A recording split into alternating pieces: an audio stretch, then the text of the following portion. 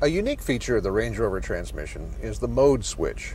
In high range, it's used to select the sport mode for quicker downshifts and maximum engine power. In low range, it'll select manual mode, holding the transmission in the gear you've selected.